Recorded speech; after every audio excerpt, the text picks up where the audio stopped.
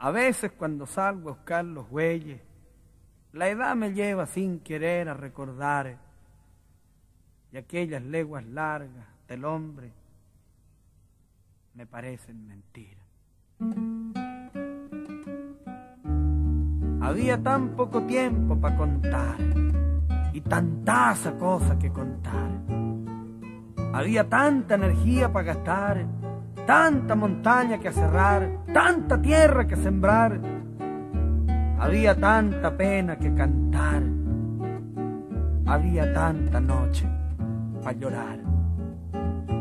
Me miraba las manos y pensaba que a veces parecían no ser mías. Miraba a mi mujer cuando dormía y pensaba que tampoco ella era mía. Era del tiempo como todo del mañana que venía silencioso con su taza de café, media tortilla y la lluvia a veces vociferando afuera y apaleando el corral con sus varillas. La leyenda hablaba de un entierro que a veces brillaba por el bajo y yo quería encontrarme aquel entierro. Quería hallarlo, no para hacerme rico, sino para no sentirme tan debajo, para no sentirme algún día viejo y despreciado para no tener que arrendar el corazón, para poder hacer la rancha que quería y comprarme una vaca y un peñón.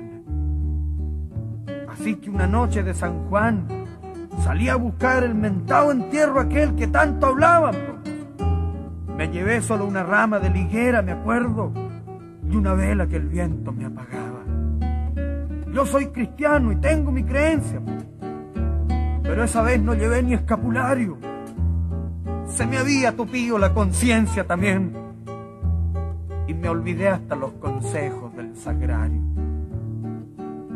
Yo creo que vale contar esa experiencia.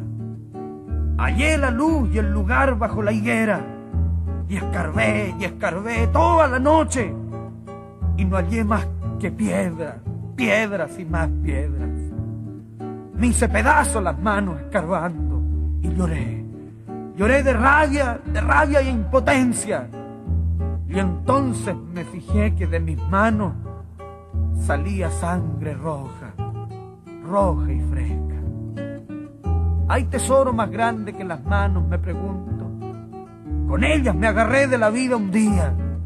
Con ellas la gané. Y hoy la mantengo y así mañana, mañana y cada día. Compré montura para el caballo y una vaca. Una vaca linda que ahora tiene cría.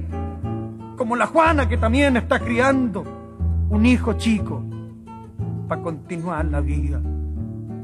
A veces cuando le hago su cariño por ahí a mi nieto Juan José, me miro las manos y la edad me hace acordarme del enorme tesoro aquel. A veces cuando salgo a buscar los bueyes, la edad me lleva sin querer a recordar de aquellas leguas largas del hombre. Me parece